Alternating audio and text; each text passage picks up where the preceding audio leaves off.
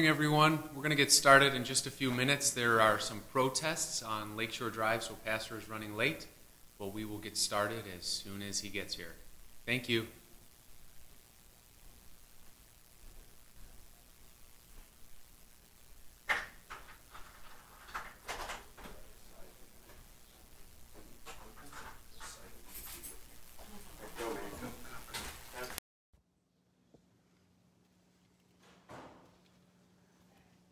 Hey guys. Yeah, it's on good. The audio is just on my phone right now, I have plugged it, so we're fine to move around. Everything's set up. I just pulled one, so we're fine. Okay, thank you. Totally forgot to wear red. Good, are you? Should I take my, my post? Yes, please.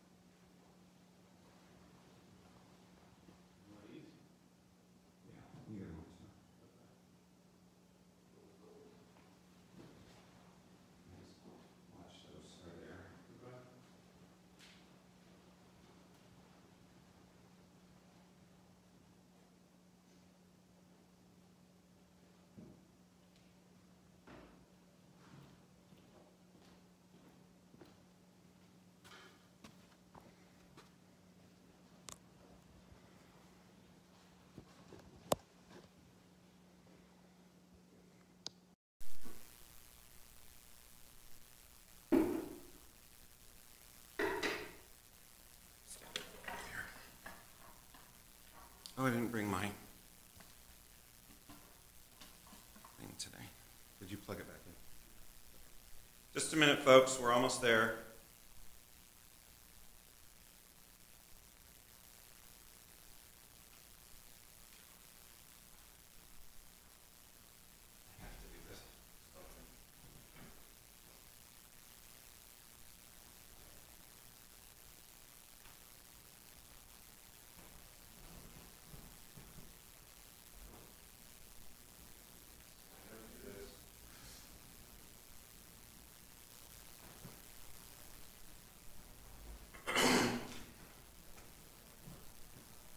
Morning. Welcome to worship. Um, let's. We'll start off with uh, um, my apologies for starting late. Um, we were well on our way to be here um, early, even, and um, Lakeshore Drive was closed because of the rioting last night and possibly today. So, um, with that in mind, I, I want us to remember in our prayers today. George Floyd, I think is his name, or his family, and uh, all those involved in that uh, situation, um, as well as uh, those that are um, concerned and trying to make a change, and um, pray for uh, peace and living into our right to free speech, but help people remember that the violence is, doesn't make sense. I just, I'm blown away by the violence, I have to tell you. I guess I don't have to. I just did, though. Um, we, um,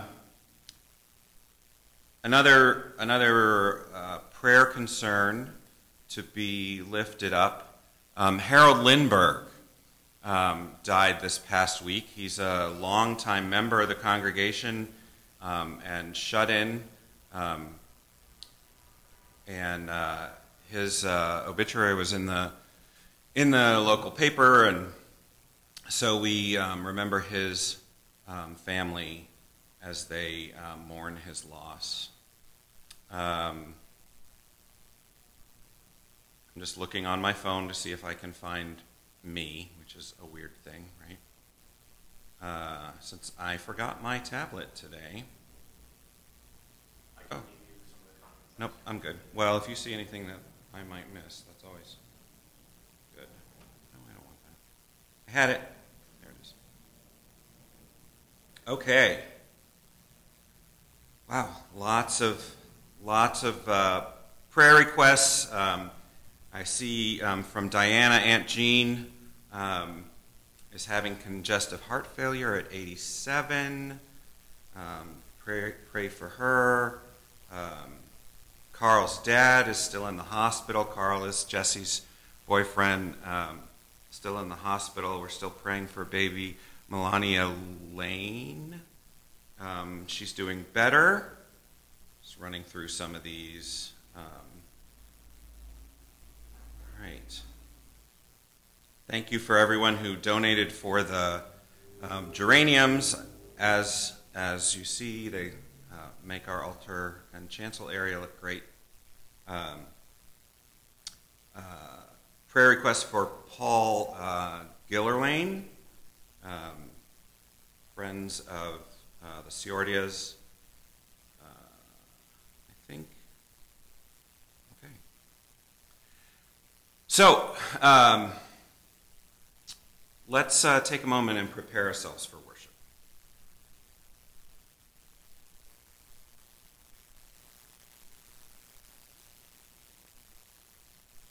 The grace of our Lord Jesus Christ, the love of God, and the communion of the Holy Spirit be with you all. Let us pray. O God, on this day you open the hearts of your faithful people by sending into us your Holy Spirit. Direct us by the light of that Spirit, that we may have a right judgment in all things and rejoice at all times in your peace. Through Jesus Christ, your Son and our Lord, who lives and reigns with you and the Holy Spirit, one God, now and forever. Amen. Go on to the readings. Our first reading today. Um, is my head cut off? It is on mine. That's weird. Uh, our first reading today comes from the book of the Acts of the Apostles. Um, we'll be starting on chapter 2 with verse 1. So, again, the Acts of the Apostles. Um, that is the fifth book of the New Testament, uh, right after the Gospels. So, um, we'll be starting, it's chapter 2. I'll give you a chance to get there if you're um, looking for it. Um, and we'll start with verse 1.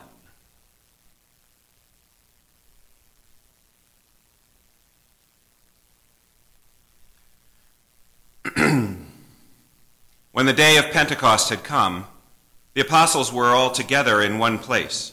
And suddenly from heaven there came a sound like the rush of a violent wind, and it filled the entire house where they were sitting. Divided tongues as of fire appeared among them, and a tongue rested on each of them. All of them were filled with the Holy Spirit and began to speak in other languages as the Spirit gave them ability. Now there were devout Jews from every nation under heaven living in Jerusalem.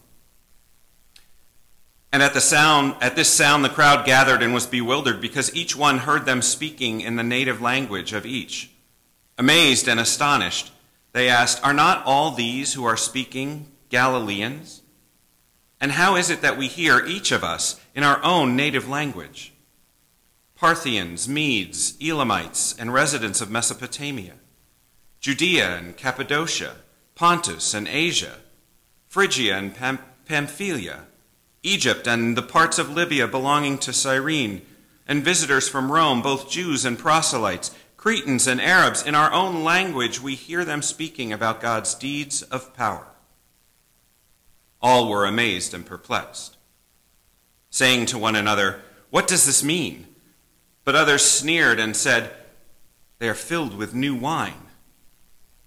But Peter, standing with the eleven, raised his voice and addressed them Men of Judea and all who live in Jerusalem, let this be known to you and listen to what I say. Indeed, these are not drunk, as you suppose, for it is only nine o'clock in the morning.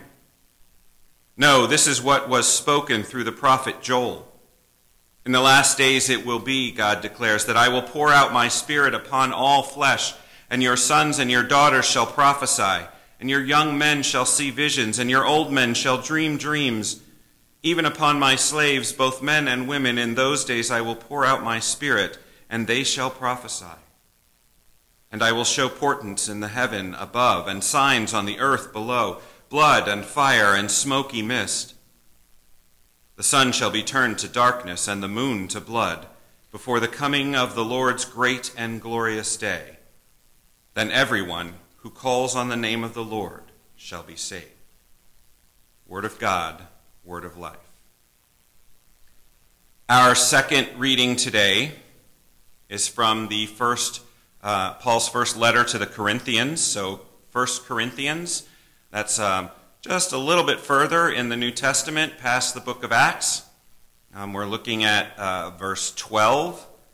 Um, I mean, chapter 12. So, First Corinthians chapter 12. Give you a second to find it. We're going to start with the second half of verse 3. I know that sounds weird, but sometimes they cut the verses in half. So 1 Corinthians chapter 12 verse 3 and following. No one can say Jesus is Lord except by the Holy Spirit. Now, there are varieties of gifts, but the same Spirit, and there are varieties of services, but the same Lord, and there are a variety of activities, but it is the same God who activates all of them in everyone. To each is given the manifestation of the Spirit for the common good. To one is given through the Spirit the utterance of wisdom and to another the utterance of knowledge according to the same Spirit, to another faith by the same Spirit, to another gifts of healing by the one Spirit, to another the working of miracles, to another prophecy, to another the discernment of spirits to another various kinds of tongues, to another the interpretation of tongues. All these are activated by one and the same Spirit, who allots to each one individually just as the Spirit chooses. For just as the body is one and has many members, and all of the members, all the members of the body, though many, are one body, so it is with Christ. For in the one Spirit we were all baptized into one body, Jews or Greeks, slave or free, and we were all made to drink of one Spirit. Word of God, word of life. Thanks be to God. Join me in the Hallelujah.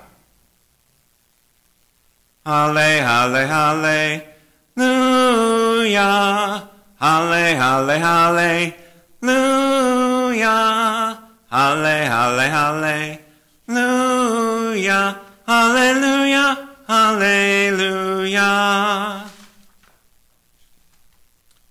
Holy Gospel today is the Gospel according to St. John, the fourth Gospel, the 20th chapter.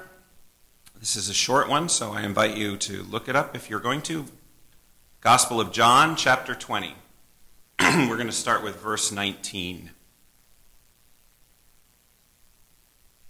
When it was evening on that day, the first day of the week, and the doors of the house where the disciples had met were locked for fear of the Jews, Jesus came and stood among them and said, Peace be with you. After he said this, he showed them his hands and his side. Then the disciples rejoiced when they saw the Lord. Jesus said to them again, Peace be with you. As the Father has sent me, so I send you. When he had said this, he breathed on them and said to them, Receive the Holy Spirit. If you forgive the sins of any, they are forgiven them. If you retain the sins of any, they are retained. This is the gospel of the Lord. Praise to you, O Christ. Would you pray with me? Gracious God, we give you thanks. Thanks for the safety that we have found. Thanks for the people that you have brought together to be part of our community. Thanks for the love that you show us. Thanks for the guidance of the Spirit. We ask that you send that Spirit now among us, wherever we are. Open our hearts and our minds. Bless the words of my mouth that they carry to your people the knowledge of your presence and your activity and your love in this world. Your holy name we pray. Amen. so today is Pentecost Sunday. It's, um, as you've heard me say, it's the considered the birthday of the church. It's the first day that the that we as humans took on uh, Christ's job, kind of. Um, Jesus had uh, already ascended. He ascended on it actually is a Thursday, as it's 40 days after um, after the resurrection, after Easter. And it ends up on a Thursday. And then 10 days later, we have Pentecost. Pentecost is, um, it actually comes, the word actually means 50 day or 50th day. And it comes from a, a Hebrew celebration, um, sort of the spring festival for the Hebrews, which is 50 days after uh, Passover. So, on this day, again, we have in Jerusalem a bunch of people gathered for the festival. They're there to celebrate. It's, a, um, it's also called the Festival of Weeks, um, and a Hebrew word that I can't remember well enough to try and pronounce. So, the Festival of Weeks, the Spring Festival.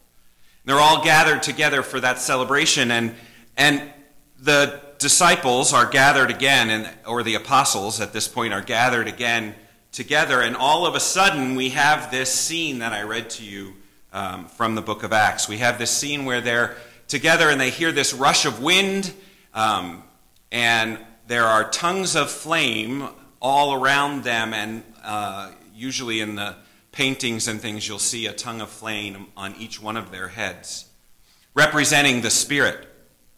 And we could go into a whole lot of things about why tongues of flame and why um, uh, that represents the Spirit and what it means. But the main thing that happens here is that they all start talking in a language they've never spoken before.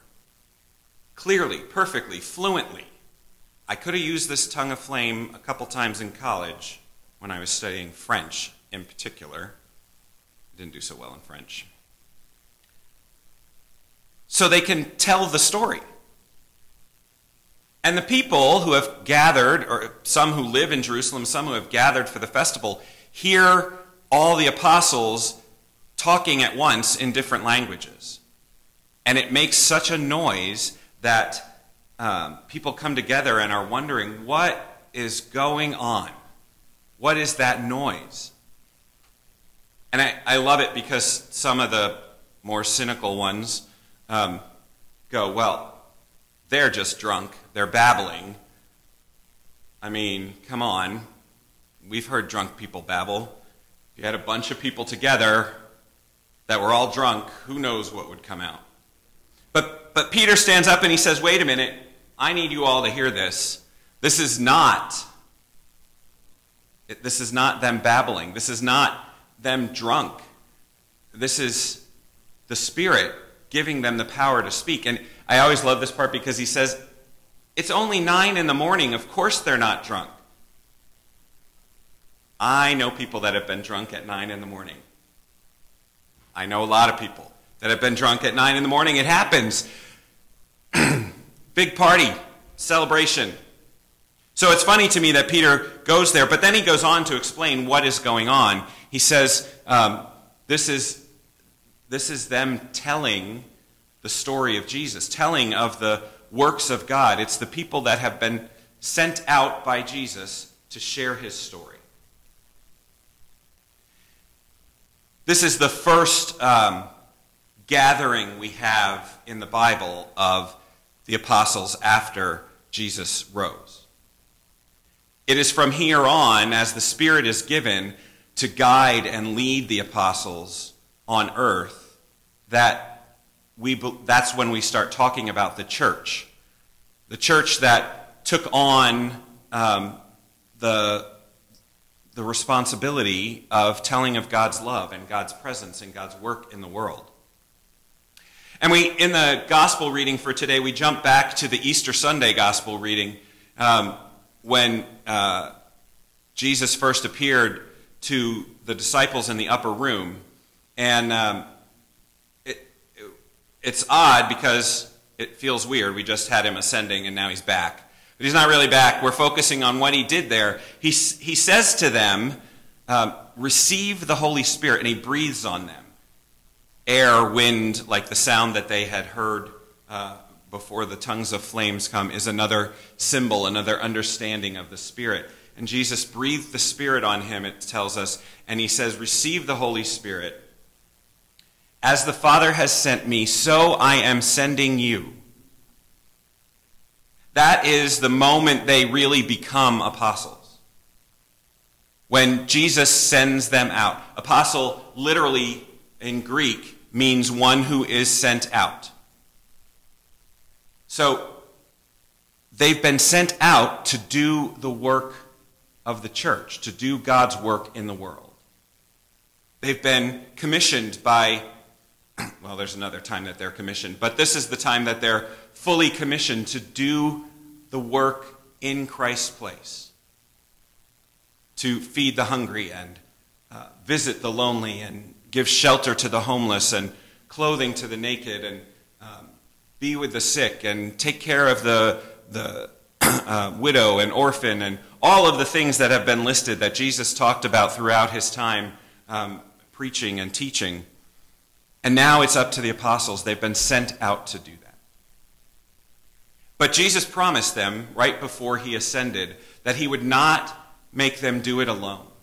He would give them the power, he would give them an advocate. There's all sorts of names for the Holy Spirit.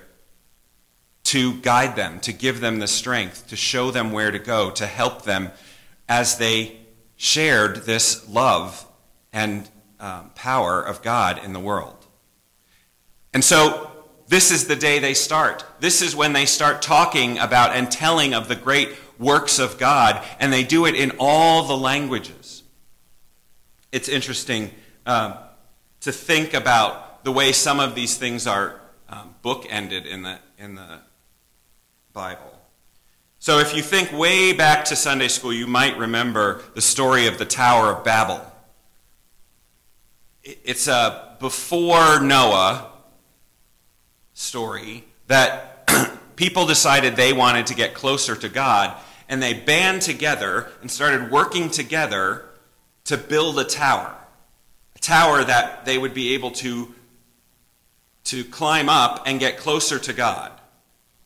And uh, God realized that what they were doing was trying to be, be God, trying to take the power of God, trying to take the um, perspective of God in ways that God didn't want us to do.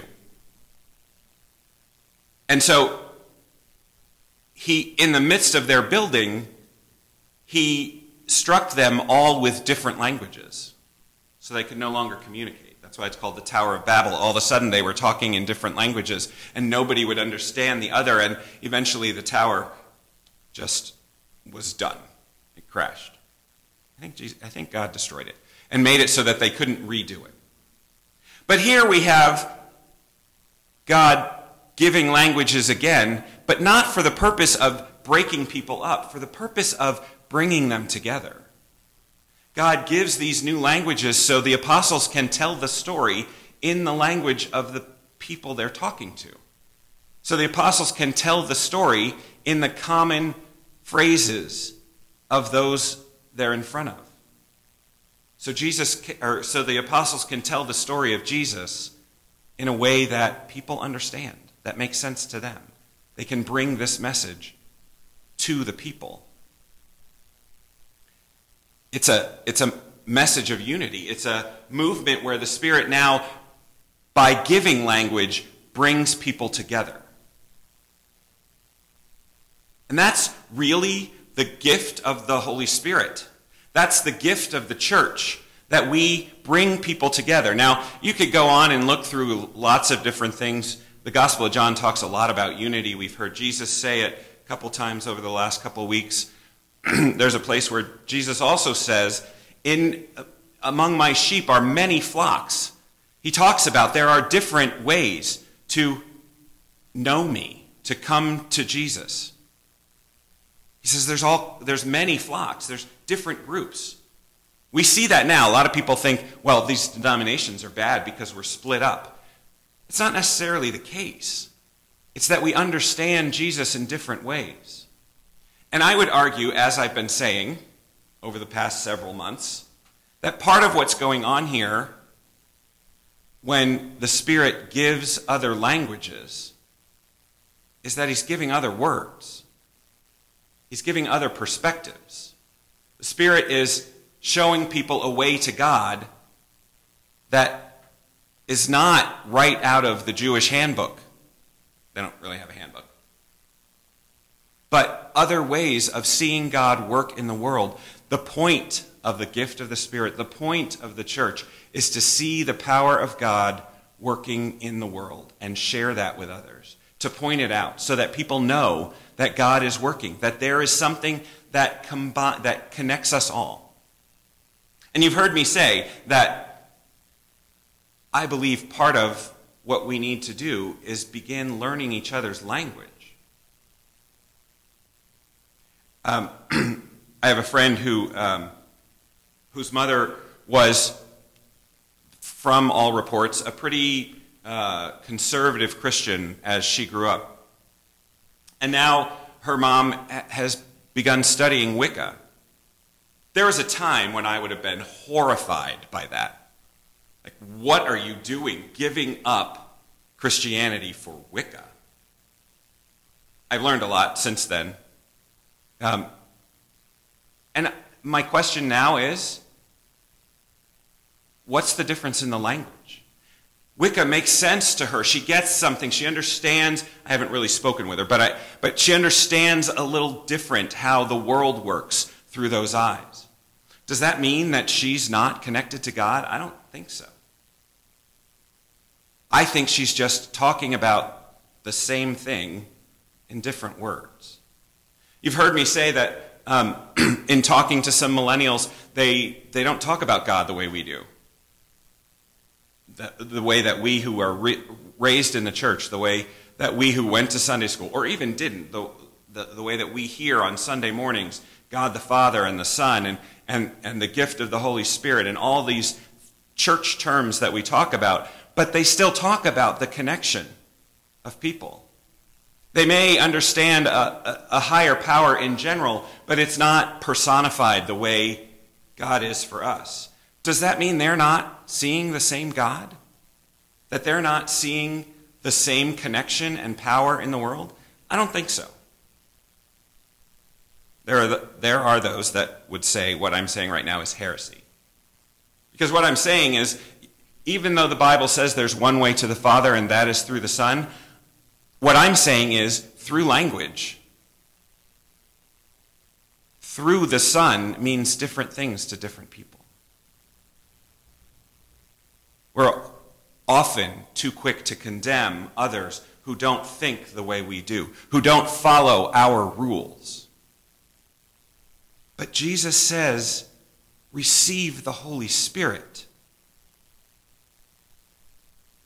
Go, as the Father and I are one, you are one. Share this story.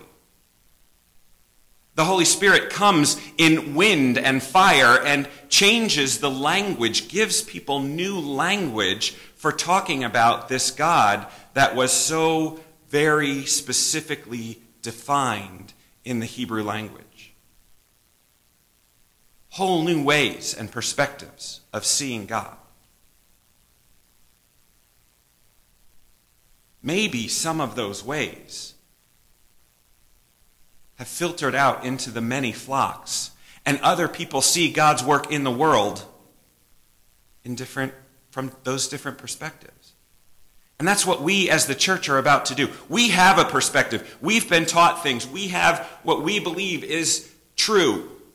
And so our job is to talk about that. Our job is to share how we see God working. And for me, growing up in the church, God, uh, the personification of that other power, that higher power, is important. It helps me relate. I understand that. It doesn't work for everybody. But my job isn't to change them, my job is to tell them my experience with God. And that's your job too. That's how you and I are called together. That's what the church is to be about. Sent out, apostles, all of us, sent out to share the message of God's power and love and community and connection in the world. so today we're going to share communion in a different way. Hopefully, uh, most of you were able to read the explanation I gave. I'll do a brief one in a little bit. Um, part of communion, it's right in the word. Holy Communion, it's about being community what we're doing now, the reason that we're online, is so that we can still be community in this time when it's not healthy for us to be together. We can still be community.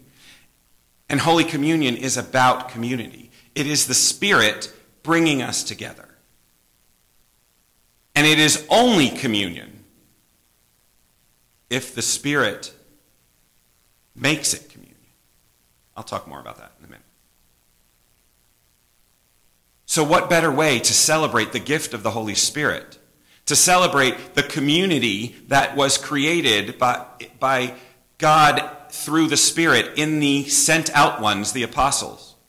What better way to celebrate the birth of the church than to share the meal that connects us?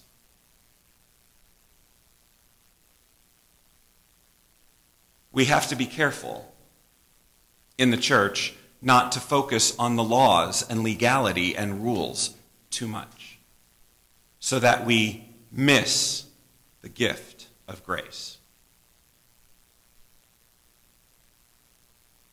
When we do that, we condemn others who see God in a different way. And yet, God never told us to condemn. When we do that, we keep people away from the community, whether it's from our worshiping space or our table of grace and the meal. When we do that, we might as well be at the Tower of Babel. There's a couple memes. A friend of mine sent me a meme. I'll just do this real quick of a conversation that people were talking about God, and they're talking about how things can get better, and, and all of a sudden they start, you see gibberish. If you're reading it, it's because the English turns to Greek. There's also, um, look it up if you're a meme fan, there's a Tower of Babel. Um, who are the minions? From Despicable Me. There's a meme about he's describing this city he's going to build, and all of a sudden the words on his, on his sign change language so nobody can understand.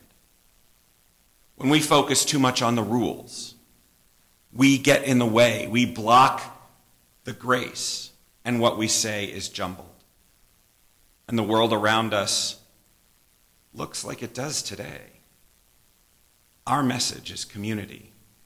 Our message is united, is love. We need to say that clearly. Amen.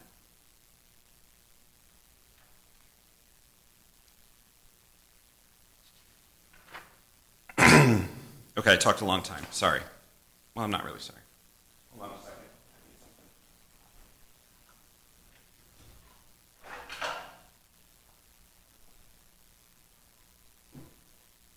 I don't know if it's in here. I forgot to change the hymn today, so the one that we have in the book is uh, not one that I know the tune well enough to. Um, so I have another one that I was going to do if I can find the words, because I don't remember them. Bear with me a second, please.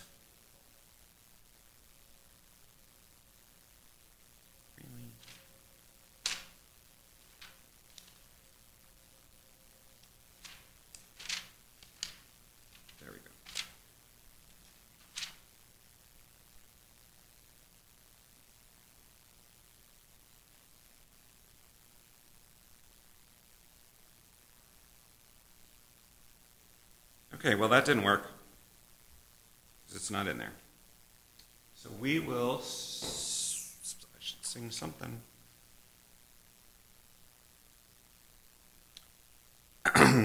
this would have been all worked out if uh, Lakeshore Drive had been open.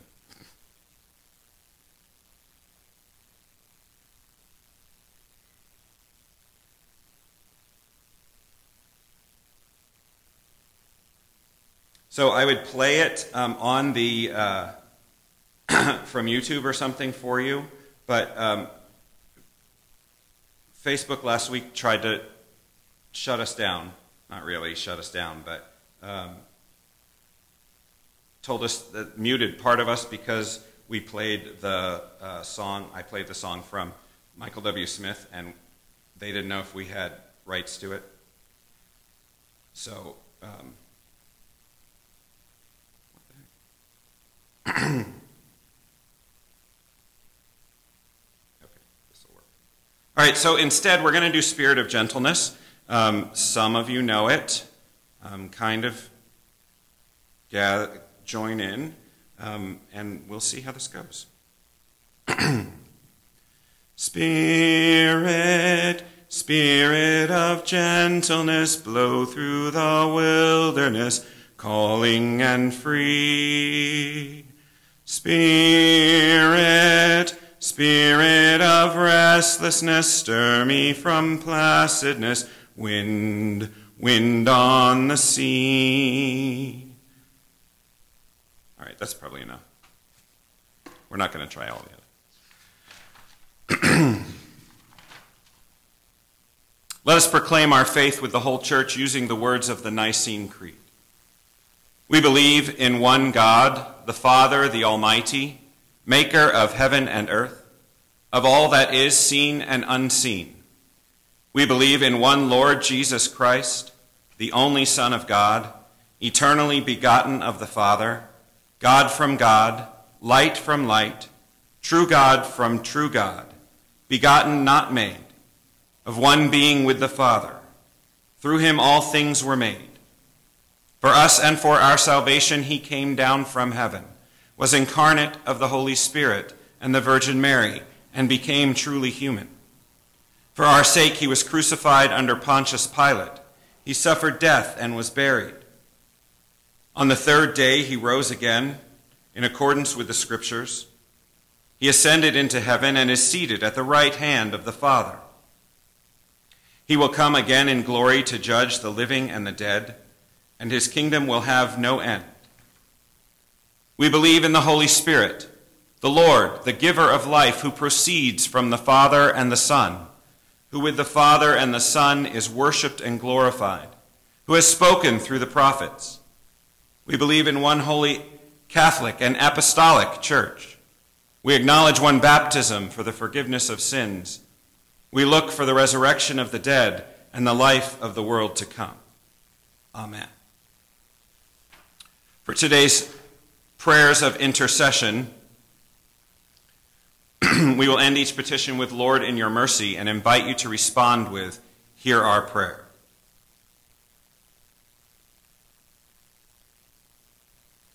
Uplifted by the promised hope of healing and resurrection, we join the people of God in all times and places in prayer for the church, the world, and all who are in need. We call on your spirit of unity, giving thanks for our different vocations. Activate and utilize the diverse gifts present in your church, that they reveal your love for all. Lord, in your mercy. We call on your spirit of life, present in air, wind, humidity, storms, and oxygen in our atmosphere breathing energy into all things. Heal with your breath the whole creation, especially those who struggle to breathe due to air pollution. Lord, in your mercy, hear our prayer. We call on your spirit of righteousness. Wherever we as people are divided, unite us. Wherever we are prideful, humble us. Give each one of us a heart of justice and empathy. We remember especially those now speaking out about injustice in our society, in our culture. And we ask that you bring them peace. Lord, in your mercy, hear our prayer.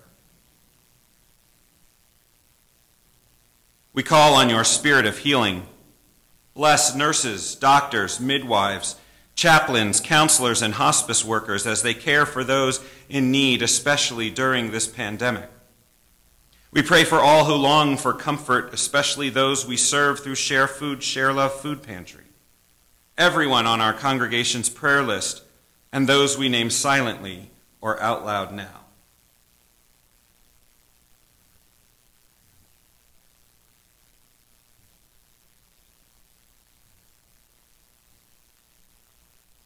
Lord, in your mercy, hear our prayer.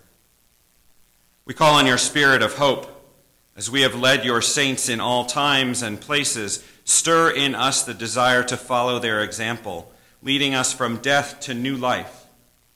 In you, Lord, in your mercy, hear our prayer. With bold confidence in your love, Almighty God, we place all for whom we pray into your eternal care through Christ our Lord. Amen. The peace of the Lord be with you also, always. Let us share the peace with each other, however we may do that. Um, I had somebody get really excited about the jazz hands last week. So, jazz hands for peace.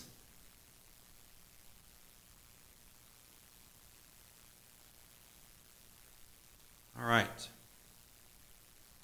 So, at this point, we're going to. Um, we're going to have communion together. Hopefully, that you. Um, no, go forward one. Yeah, you're right. Follow your instincts, man.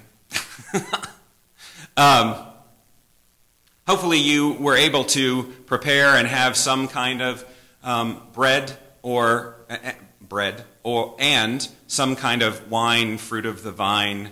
Um, again, there are a lot of rules that seem to be important when it comes to communion. Um, one of them is that a pastor needs to preside over it, um, but that doesn't change its efficacy. It still works because the power of communion comes from the Spirit. The Spirit giving you faith and belief in the words given and shed for you for the forgiveness of sins. Luther is very clear. If you believe those words, then Christ is truly present in the bread and wine, or as we say um, in our fancy Lutheran speak, in with and under the bread and wine. So, in believing that, it is communion. If you don't believe that, I don't know why you would take it. Now, we do put a pastor over it for good order. That was a Luther thing. He talked about good order. He eh, basically doesn't want you going out on the street and telling everybody that they're now saved because you throw some bread at them or whatever. Um, we try to keep it as close to the original as possible, um, just because that's part of the good order. So that's why I say fruit of the vine. That's why I say some form of bread. Um, in my article, you'll see that I uh, know a pastor that once did it in a youth event um, with Mountain Dew, and I said in the article it was Doritos, but I found out yesterday it was um, cheese nips, which actually is better than Doritos because that's actually a wheat bread thing, so that one kind of works. The Mountain Dew, eh.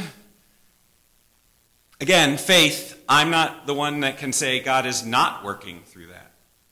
Communion is a means of grace. So the only rule, if you can even count, call it that, that you need today for your communion is to believe the words given and shed for you for the forgiveness of sins. Everything else is up to God. In fact, even that is up to God.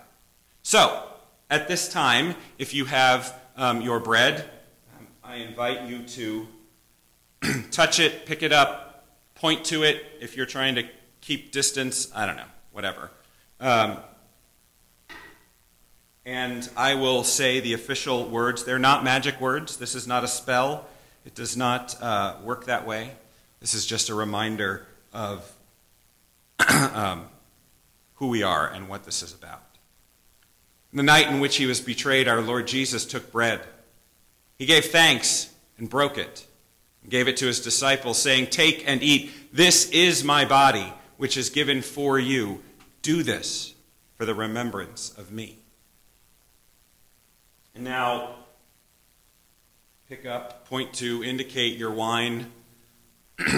Again, after supper, he took the cup. He gave thanks and gave it for all to drink, saying, This cup is the new covenant in my blood, which is shed for you and for all people for the forgiveness of sin. Now join me as we pray uh, the prayer our Lord taught us. Our Father, who art in heaven, hallowed be thy name. Thy kingdom come, thy will be done, on earth as it is in heaven. Give us this day our daily bread, and forgive us our trespasses, as we forgive those who trespass against us. Lead us not into temptation, but deliver us from evil. For thine is the kingdom and the power and the glory forever and ever. Amen. So now I invite you to distribute the bread and wine if you didn't already. Um, I'm going to kind of go off camera to do that. Um, but remember um, the words and say them out loud. If you're on your own, you can give yourself communion. I've seen pastors do it all the time. Um, but the words are the body of Christ given for you the blood of Christ shed for you. Again, the important part of there of any of that is the for you. Get that part in.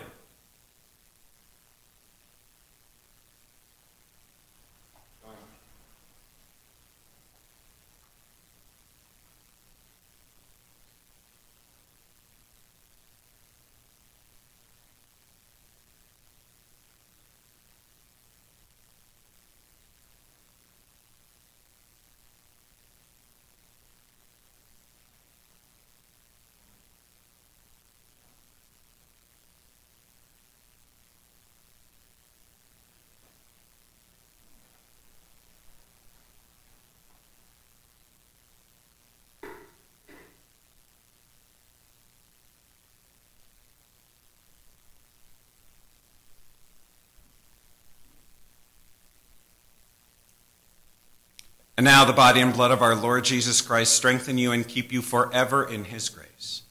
Amen. May the one who brought forth Jesus from the dead raise you to new life, fill you with hope, and turn your mourning into dancing. Almighty God, Father, Son, and Holy Spirit, bless you now and forever. Go in peace, share the good news, feed the hungry. Thanks be to God. Amen. Um, we will uh, be back online again next week. The decision on when we're moving back into the church is, uh, has not been made yet. Um, we will keep you updated on that. If you have any concerns, you're more than welcome to um, let me know or talk to any of the council members. Um, they're listed on the newsletter. If you have any concerns or questions about how communion um, works the way we just did it, um, please reach out to me. Uh, I'd be happy to discuss that with you um, and go from there.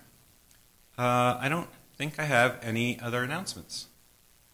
So we'll see you next week.